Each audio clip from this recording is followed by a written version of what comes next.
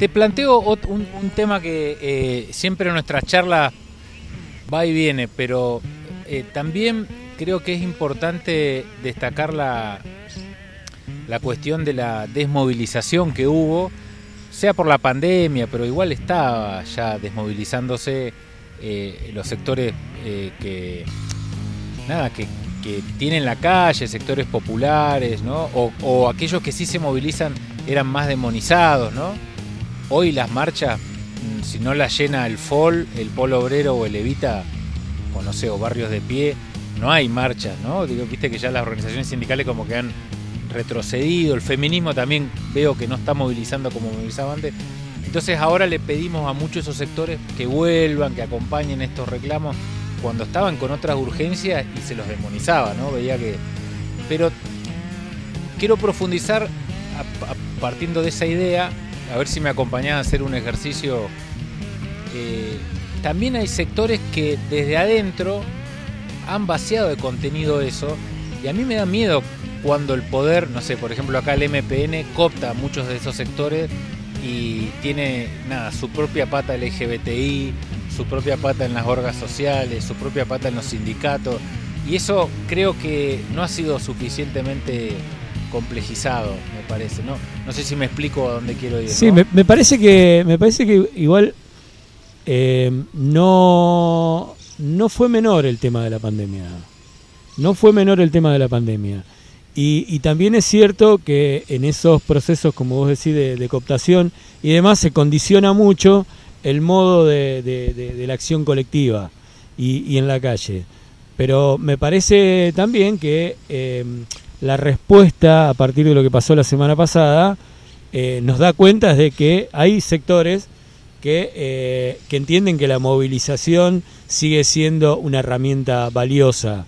Por eso digo que es una, es una nueva oportunidad y me parece también que, eh, que, que, de esta nueva, de esta nueva, esta nueva oportunidad me parece que plantea nuevas urgencias. Es decir, volvemos sobre lo mismo. La derecha no va a parar y este, la urgencia es cada vez mayor y, creo que sigue siendo el espacio público eh, el espacio del cual hay que articular la respuesta. Y digo, me parece que la movilización de los sectores más combativos, eh, de izquierda, los sectores populares y demás, me parece que eh, debemos otra vez retomar el sano ejercicio de, de eh, poner en práctica la movilización. Pero me parece que tiene que haber consignas fuertes, claras, dirigidas. Eh, no deben ser, este, me parece, movilizaciones donde solamente lloramos, solamente nos lamentamos o solamente prendemos una antorcha y decimos por la democracia. Me parece que hay que hacer movilizaciones que tengan una, una direccionalidad más clara y consignas más claras. Me parece que de ahí se parte. Uno tiene una, una, una crítica este, muy rayana ¿no? con esta democracia. Absolutamente. la verdad que esto no, no, sé si es lo que yo voy a defender, ¿no? teniendo en cuenta en la situación en la que estamos los sectores laburantes, ¿no? Creo que esa crisis también hay que resolverla. Sí, sí, creo, creo que creo que este es un este, este sistema democrático y esta formalidad eh, eh, de alguna manera esconde eh, desigualdades sustantivas y, elementos absolutamente antidemocráticos que sin embargo están institucionalizados. Por eso pasa lo que pasa con el Poder Judicial y demás. Acá hay, hay muchos elementos y muchos factores de poder que están intactos y algunos incluso crecen bajo, digamos, esta supuesta democracia y que son eh, que tienen que ver con, con, la dictadura militar, que tienen que ver. Bueno, lo decía, ¿no? hay una ley de Martínez de O que sigue intacta. Bueno, eh, a ver. Eh, que, no exista, te toca muy cerca. Sí, digamos, que, que, hoy día no se plantee una nueva ley de identidad financiera, me parece que, es toda es todo un, un, gesto, es más que un gesto, digamos, es una señal sumamente importante. Este, lo mismo esto de la ley de medio, bueno, ¿qué vamos a hacer? Se retrocedimos y ahora qué hacemos?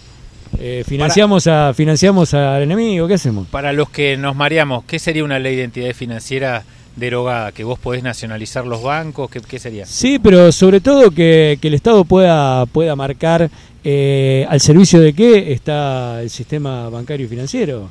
Este, la ley esa que permite?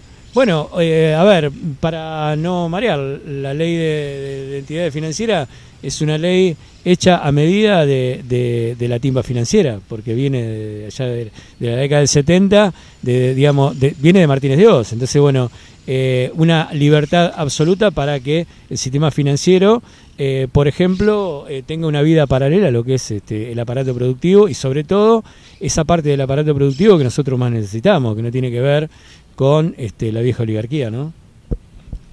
Eh, Jorge, te, agradezco mucho el tiempo, nos quedan dos minutos, eh, dos, tres minutos, y mm, quería preguntarte cómo volvés al aula después de esto, vos que sos docente universitario y trabajás mucho la reflexión.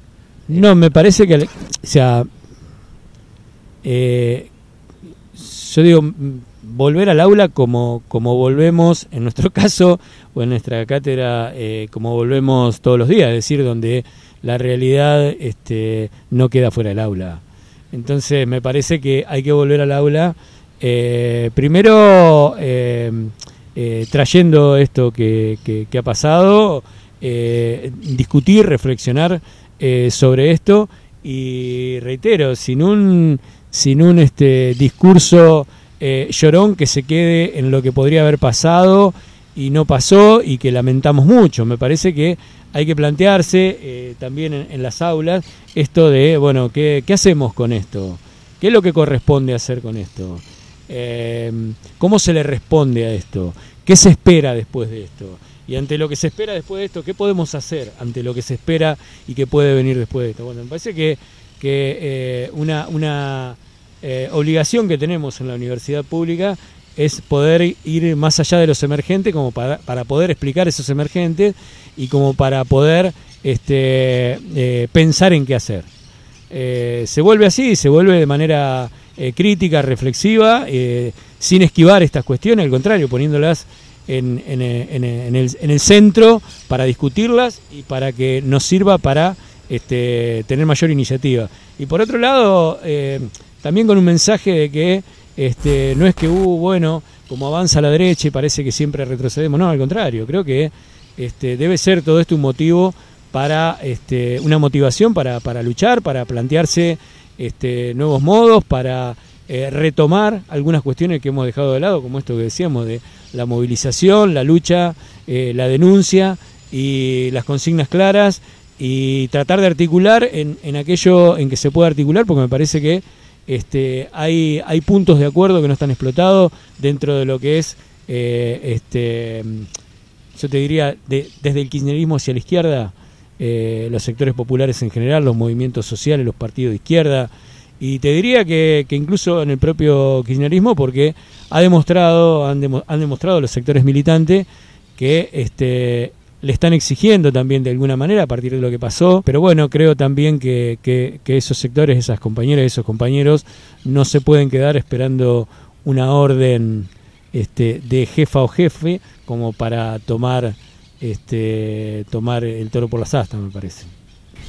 Sí, yo me, me, planteo lo, naif, ¿viste? Que frente a, a estos grupos tipo la Alianza Libertadora Nacionalista, este, vos le vas con, consignas de paz y amor y sí me parece muy delicado eso, que es como una despolitización fuerte, pero bueno, capaz que soy yo el, eh, que me quedé en el 45. No, al contrario, yo, particularmente creo que cuando el, poder fáctico, los poderes fácticos eh, crecen, las respuestas deben ser acorde. Y cuanto más débiles son las respuestas, me parece que eh, más envalentonados para, para avanzar están.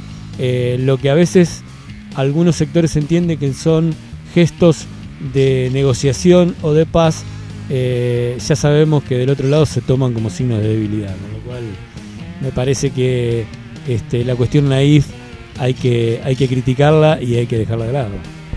Jorge, gracias por la paciencia y bueno y, las reflexiones. Eh, gracias a vos por el tiempo y un gusto haber compartido la charla. Nosotros nos vamos a despedir hasta la semana que viene, esperemos, con no tanta urgencia, pero bueno, lo, teníamos que hacer. Eh, seguimos acá por nuestro canal con más Cartago hasta dentro de 7 días. Hasta luego.